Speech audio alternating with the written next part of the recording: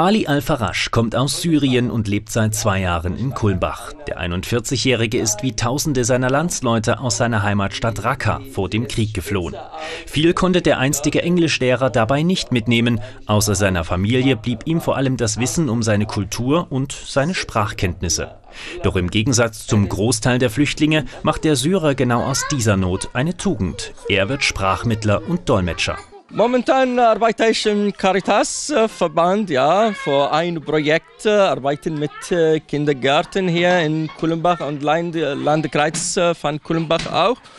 Ja, Ali Al-Farash ist damit Ansprechpartner für alle Kindertageseinrichtungen im Raum Kulmbach, die Bedarf an einem Dolmetscher oder Sprachmittler haben.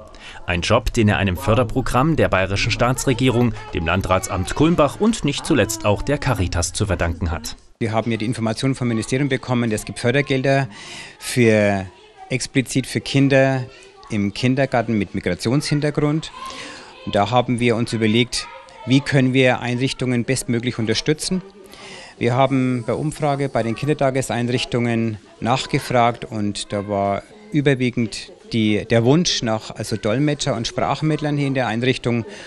Und dann haben wir uns überlegt, wie können wir das schnell organisatorisch umsetzen. Wir mussten innerhalb von zwei, drei Wochen uns überlegen, wie wir ähm, da was auf die Beine stellen. Gemeinsam mit dem Caritasverband Kulmbach als Anstellungsträger wurde das Projekt schließlich umgesetzt. Das war natürlich für uns auch Neuland. Wir hatten natürlich zuerst mal vermutet, es sind noch äh, für Af afghanische Menschen dann letzten Endes Sprachen gefragt wie Pashtu oder Urdu, Farsi. Wir hatten dafür einen äh, Menschen aus dem Iran, der also schon sehr lange hier lebt und Jetzt mussten wir allerdings eines Besseren belehrt werden. Der Mann wurde nicht angefragt. Übrig blieb also ganz, ganz starke Nachfrage nach dem Arabischen.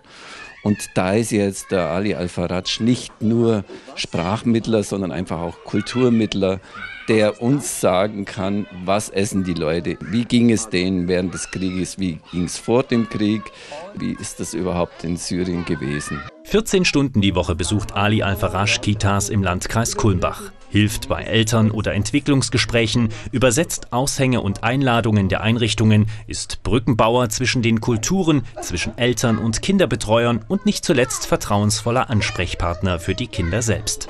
Spielen und malen mit Kindern, das ist sehr, sehr, sehr wichtig für Kinder zu vergessen, was ist passiert in Syrien. Auch die, für die Eltern auch, auch sehr wichtig.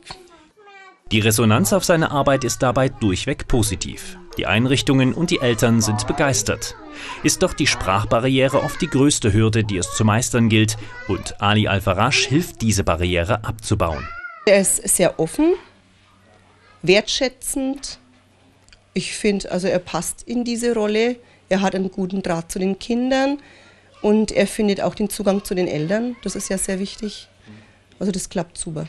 Er ist für die Kindergärten, äh, denke ich, der absolut richtige Mann, hat eine offene, freundliche, äh, zupackende Art und äh, wir können sehr zufrieden sein und ich bin sicher, dass es in den nächsten Monaten gut weiterläuft. Der jetzige Förderzeitraum läuft noch bis Ende des Jahres und auch im nächsten Jahr soll das Projekt fortgesetzt werden. Ein Projekt, dessen Erfolg für sich spricht. Dank aller Beteiligten, vor allem aber Ali Al-Farash, der hier in Kulmbach nicht nur eine neue Heimat, sondern auch eine wichtige neue Aufgabe gefunden hat.